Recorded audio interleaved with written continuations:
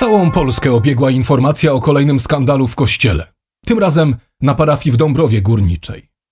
Pytacie w korespondencji, panie Marku, jak odpowiadać na te zarzuty? Jak odpowiadać na te ataki, bo nie mamy już siły? To nie jest trudne. Zawsze stając w prawdzie. Dziś ostro, czyli tak jak zwykle, po katolicku.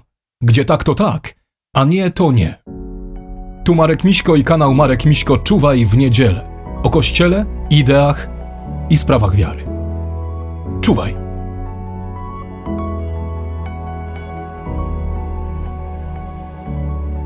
Ale się porobiło.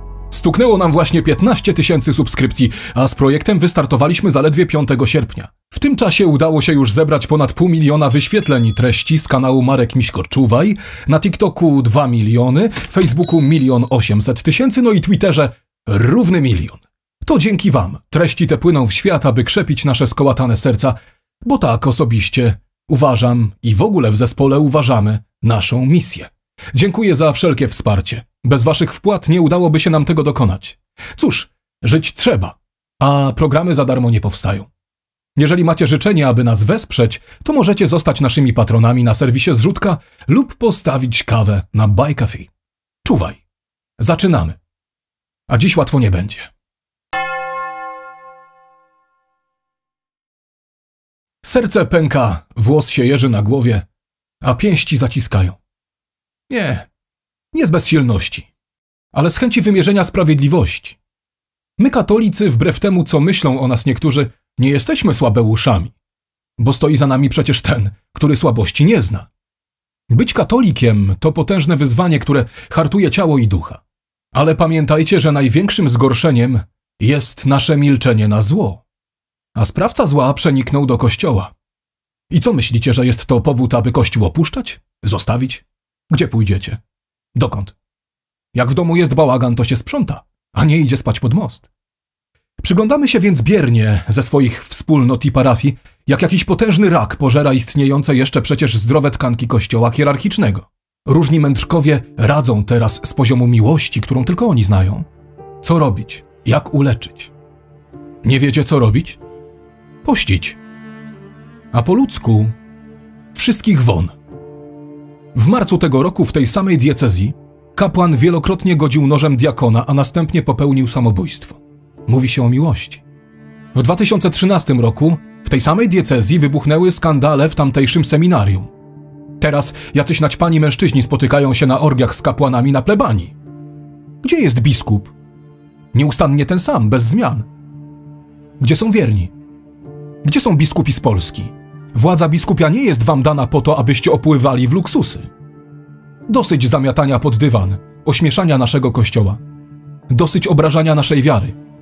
Dzisiaj to my, uczciwi wierni, i wy, będący przecież jeszcze w większości bogobojni kapłani i zakonnicy, musimy stanąć w prawdzie i mocno protestować przeciw tej modernistycznej bandzie niszczącej Kościół od środka.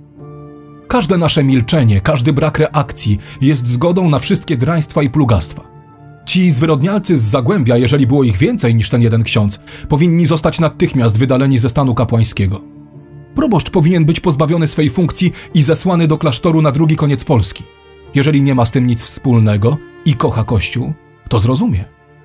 Zresztą powiedzcie mi teraz, jak niby taki proboszcz, administrator parafii, w której miało miejsce to hańbiące wydarzenie, może teraz stanąć przed wiernymi i spojrzeć im w oczy?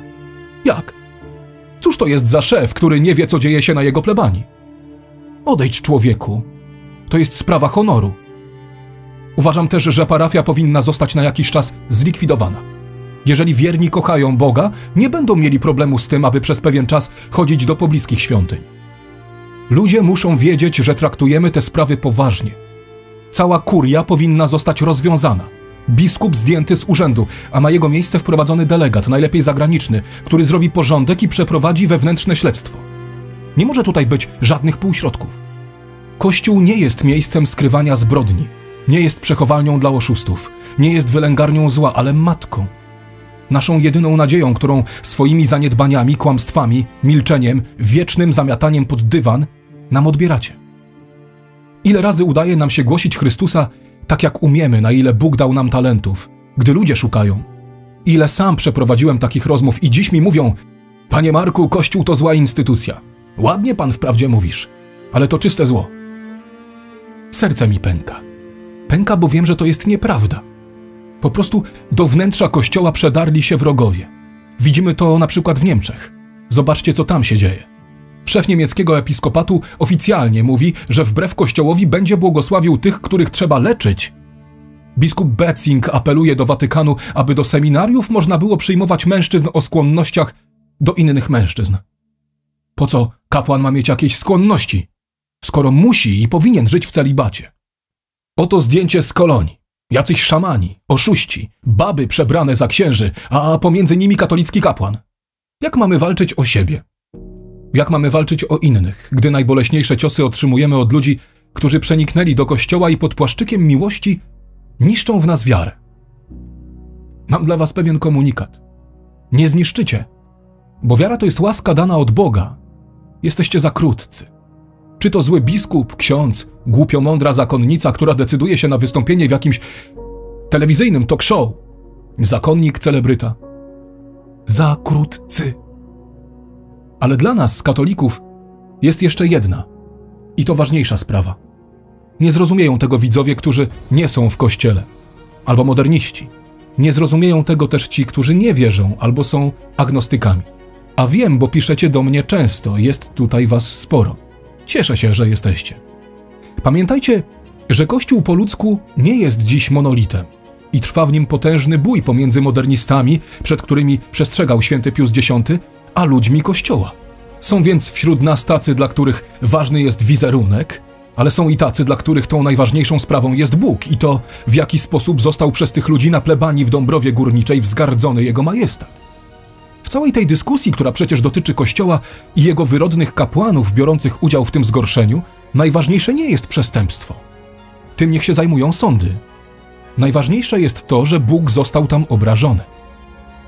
Piątek 22 września pojawił się komunikat kurii podpisany przez księdza Przemysława Lecha, dyrektora biura prasowego diecezji sosnowieckiej. Nie powiem, jest on konkretny i napisany w sposób klarowny.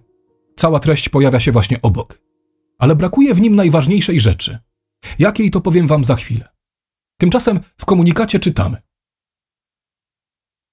Zdając sobie sprawę ze skali zgorszenia, prosimy media, aby informując o zdarzeniu, miały na uwadze dobro niemal wszystkich duchownych z Dąbrowy Górniczej i całej diecezji sosnowieckiej, którzy przez godny ubolewania występek stali się także jego ofiarami. Kuria diecezjalna w Sosnowcu deklaruje, że działając z poszanowaniem obowiązującego prawa, zrobi wszystko, co jest w jej zasięgu, aby sprawę wyjaśnić, a winnych surowo ukarać. Zapewniamy również, że wspólnota Kościoła i opinia publiczna będzie informowana o postępach dochodzenia, aż, jak ufamy, do pełnego wyjaśnienia sprawy. Jesteśmy zdeterminowani, aby zło wyrwać z korzeniami. Zło wyrwać z korzeniami? A może trzeba było pilnować, aby nie zostało zasiane, co? Dziękuję księdzu za ten komunikat i wiem, że nie zależy on od księdza, tylko biskupa.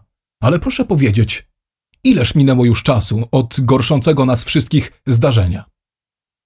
Czy gdzieś padło słowo przepraszam? I to nie przepraszam kierowane do nas, do wiernych, ale do Boga. Przecież nie reprezentujecie, drodzy księża, jakiejś podrzędnej ziemskiej instytucji, ale najstarszą firmę na świecie założoną przez samego Boga. Stanowicie reprezentantów rzeczywistości transcendentnej. Gdzie jest chociaż jedno zdanie do wiernych o zadośćuczynieniu Bogu? Gdzie mogę przeczytać, że biskup miejsca zarządził post, nabożeństwa wynagradzające w całej diecezji za ohydę spustoszenia? Czy wy się nie boicie Boga? Czy ważny jest dla was tylko wizerunek, który upada nie przez tego złego kapłana, ale przez zaniedbania? Bo uwierzcie mi, sytuacja z Dąbrowy Górniczej nie jest przyczyną. Ona jest rezultatem.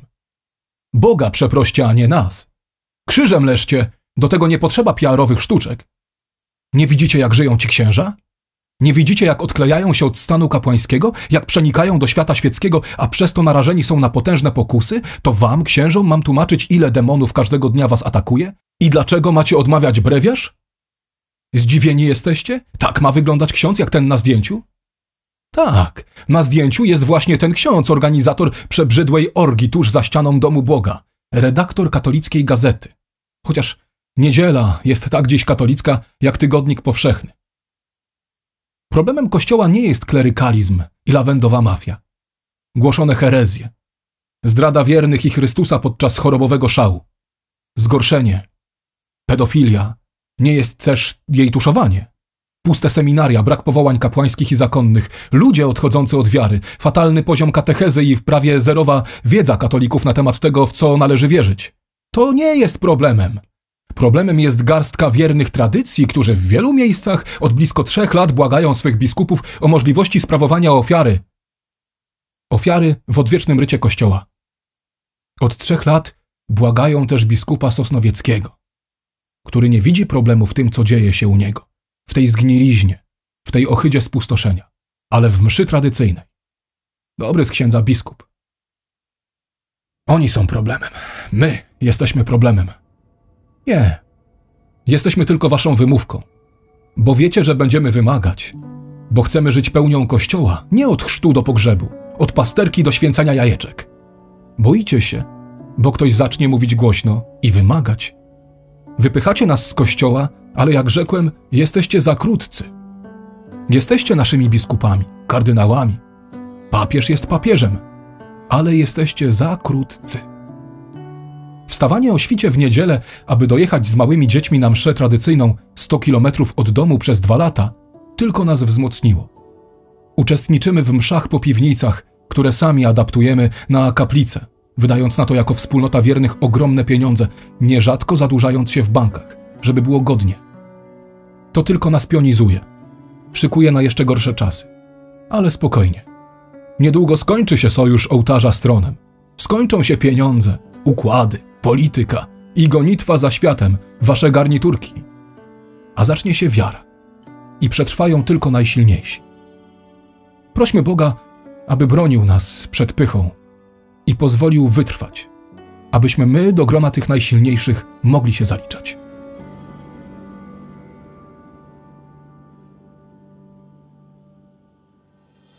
Zanim nastąpi puenta, chcę serdecznie Wam wszystkim podziękować, tym, którzy dokładają swoją cegiełkę, aby powstawały nasze programy. Każde Wasze zaangażowanie pozwala nam być spokojnym o możliwość dalszego tworzenia. Jeżeli chcecie, aby powstawały kolejne produkcje, a kanał się rozwijał, możecie postawić nam kawę w serwisie Buy Coffee lub zostać patronem na serwisie zrzutka.pl. Dziękuję wszystkim dotychczasowym wspierającym. To również Wasze dzieło. Czuwaj! A na odchodne w niedzielę. Oni wszyscy myślą, że problem kościoła polega na utracie wiernych. Bo jak nie będzie wiernych, to nie będzie kasy. I nie powinno jej być bo zepsuła ona wielu was do cna. Myślą, że aby zatrzymać ludzi w kościele, trzeba zrobić z siebie głupców, jak ten proboszcz, który zamienił świątynię naszego Boga w urodziny z McDonalda. Niszczycie tych ludzi i zabijacie wiarę, chociaż oni sami sądzą gdzieś inaczej. Ktoś, kto mówi, że msza powinna tak wyglądać, jest kretynem, albo nie ma pojęcia, czym jest msza. Choćbyście kościół wypełnili plastikowymi kulkami, zrobili w nawie bocznej plac zabaw i pływalnie ze zjeżdżalniami, nie dogonicie atrakcji tego świata. Bo Kościół jest atrakcyjny nie przez wasz głupi taniec, gitary, bębny i śpiewanie piosenek, ale prawdę, która tam występuje, zbawczą mękę i ofiarę Chrystusa, która jest na każdej mszy urzeczywistniana na naszych oczach. Robicie z naszych świątyń cyrk, sami stając się błaznami, ale też epigonami tego, co niechybnie nadejdzie. Na szczęście są jeszcze garaże i piwnice Odwagi, przyjaciele. Będziemy się bić i przetrwamy w kościele, z którego nas wypędzają. Bo jesteśmy jego nierozerwalną częścią. Bóg z wami. Marek Miśko. Czuwaj, katoliku.